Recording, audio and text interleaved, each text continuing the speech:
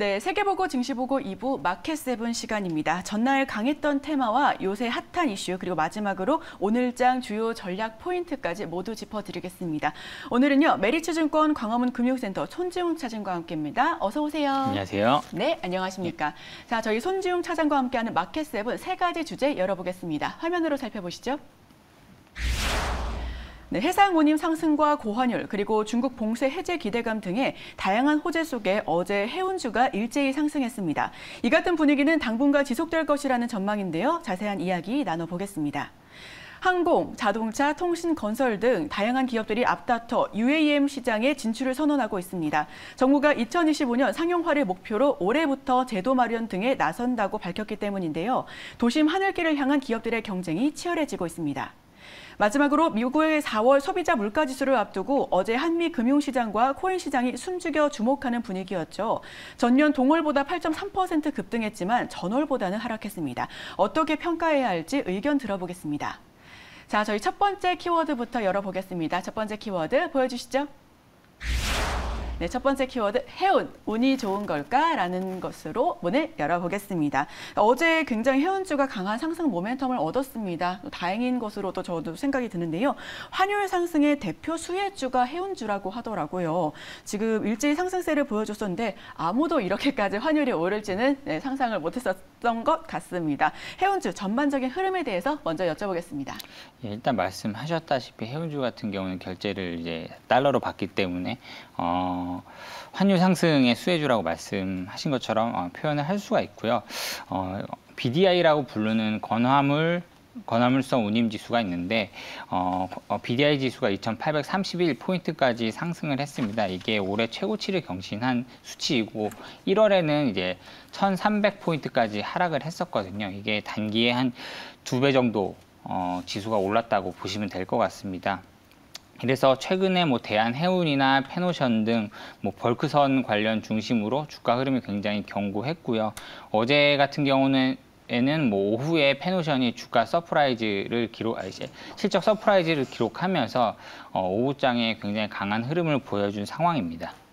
네, 오후장에 굉장히 강한 흐름을 보여준 상황이다라고 말씀해 주셨는데요. 네. 해운주 내에서도 아까 말씀해 주셨던 것처럼 벌크선과 컨테이너선은 희비가 엇갈렸다라고 평가를 하는데 어, 그 이유에 대해서 한번 여쭤볼게요. 일단 벌크선 운임지수 아까 말씀드렸던 뭐 BDI 같은 경우는 최근에 뭐 1월에 바닥을 찍고 계속 상승하는 모습을 보여주고 있는 상황이고 반대로 어, 상하이, 어, 상하이 컨테이너 지수라고 컨테이너선 지수로 어, 보는 지수가 있는 있는데 어, 1월부터 계속 하락을 하고 있습니다. 어, 일단 어, BDI 같은 경우는 이제 벌크선인데 벌, 벌크선 같은 경우는 어, 철광석, 석탄, 곡물 등 이제 크게 그러니까 벌크로 갖고 오는 어, 원자재들 위주로 어, 보시면 될 것 같고요. 컨테이너 같은 경우는 이제 컨테이너에 어, 어, 물품들을 이제 실어서 오기 때문에 다양한 품목들이 어, 섞여서 옵니다. 근데 아까 말씀드렸다시피 이제 상하이 운임 지수라고 표현을 드렸는데 최근에 상하이가 이제 봉쇄를 하면서 그렇죠. 이제 예, 컨테이너선 같은 경우가 상하이 주변에 굉장히 적체되어 있는 상황이라서 지금 운임 지수가 굉장히 안 좋은 상황이고요. 반면에 벌크선 같은 경우는 최근에 commodity 원자재 가격이 굉장히 좋지 않습니까?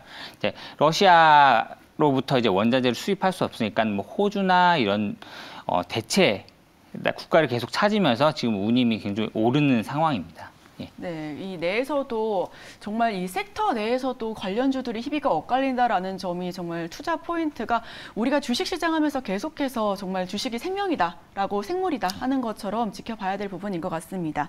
자, 여기까지 해운주 이야기 들어보기로 하고요. 두 번째 키워드 열어보겠습니다. 두 번째 키워드 보여주시죠. 네, UAM 관련해서 한번 요새 이야기가 굉장히 많이 나오고 있어요. 원래 네. 이야기가 뭐 크게 나오지는 않다가 요새 이야기가 많이 나오고 있는 화제이기도 한 것 같습니다. 항공, 자동차, 통신, 건설 등 다양한 기업들이 앞다퉈서 UAM 시장 진출을 선언하고 있는데 도대체 이 UAM이 뭔지 한번 여쭤보겠습니다. 예, 국내에서 굉장히 요즘 많이 이슈가 되고 있는 상황이고 사실 미국 같은 경우는 관련주 주가들이 별로 안 좋거든요. 네. 최근에 일단 뭐 UAM UAM 간단히 말씀을 드리면 뭐 어, UAM이란 것은 Urban Air Mobility의 약자로 도심 항공 모빌리티 또는 air taxi라고 불립니다. 뭐 간단히 설명을 드리면 뭐 서울과 같은 도심 지역에 굉장히 어, 차량 정체가 심하지 않습니까? 이런 것들을 이제 정체가 없는 하늘 위로 뭐 에어 택시를 통해 이동, 이동하시, 이동한다고 보시면 될 것 같습니다.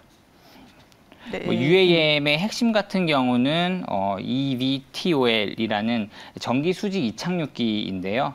뭐 수직 이착륙이 가능해서 특별히 활주로가 필요 없고 뭐 전기를 이용하기 때문에 배터리만 충전을 하면은 뭐 기존 어, 육, 아, 그 기름을 이용해서 움직이는 지금 자동차보다도 어, 굉장히 저렴하게 이용할 수 있다라는 강점이 있고요.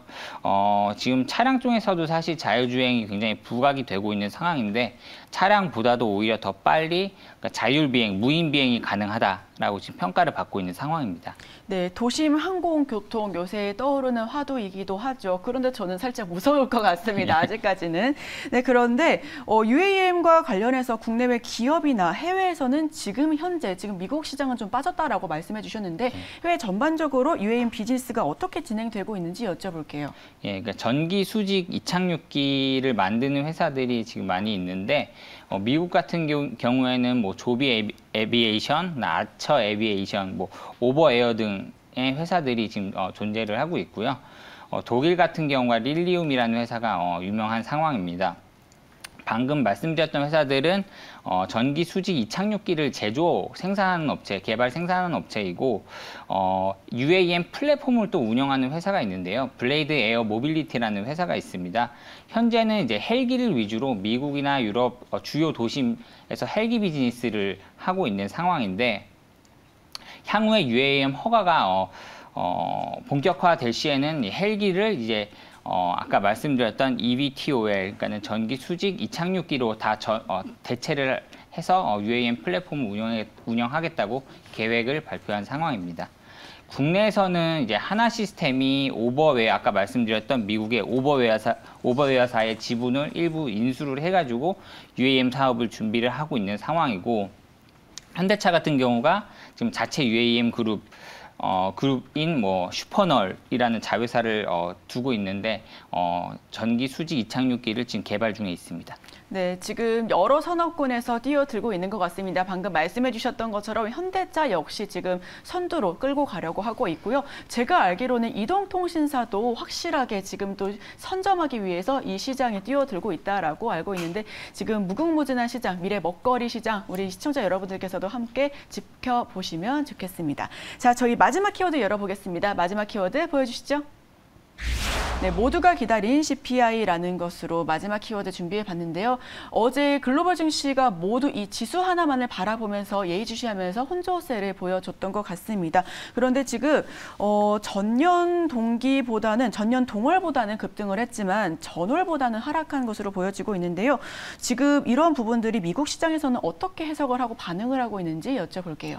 예, 미국 4월 그날 소비자 물가 지수가 전월 동기 대비해서는 0.6% 예, 증가를 했는데 시장에서는 0. 전월 동기 대비해서 0.4% 증가할 것이라고 보았는데 이제 컨센서스를 좀 상회한 좀 부담스러운 사실 수치가 발표가 되었습니다. 3월 대비해서 뭐 유가나 중고차 가격은 어, 하락했지만 이제 시장 기대보다는 뭐 하락률이 크진 않았던 것 같고요. 반면에 뭐 가스나 주거비, 교통비용 등이 상승하면서 어, 시장이 기대했던 인플레이션의 peak out 그림이 사실 어, 명확하게 나오지 않은 상황입니다. 이게 사실 전일 어, 중국에서도 소비자 물가지수, 생산자 물가지수가 발표가 되었거든요. 어, 이 지수 역시도 뭐 consensus를 상회하면서 어, 미국의 CPI 데이터도 그렇게 좋지 않을 것이다라는 뭐 예상이 어, 일부 있었는데 뭐 예상과 같이 어, 데이터는 그렇게 좋지 않은 상황이었고요. 이게 보시면은 어, 주거비를 제외하고는 사실 이제 금리 인상으로 누를 수 있는 요인이 당장은 없습니다.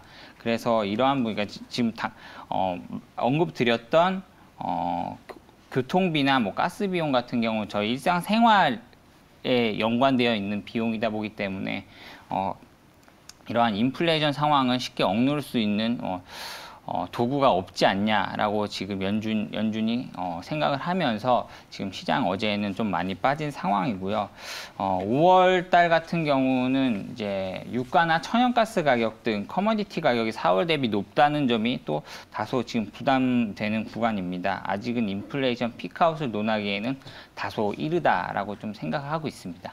네, 어젯밤에는 지금 말씀해 주셨던 것처럼 소비자 물가 지수가 나왔고요. 오늘 밤에는 또 생산자 물가 지수가 나온다고 합니다. 지금 모두가 전 세계가 인플레이션이 지금 고점인가 하느냐에 따른 우려감을 표출하고 있기 때문에 오늘 밤 지수 역시도 우리 시청자 여러분들께서도 함께 확인하셔야 할 것 같습니다. 네, 지금까지 오늘 마켓세븐 메리츠증권 광화문 금융센터 손지웅 차장과 함께했습니다. 오늘 말씀 고맙습니다. 감사합니다.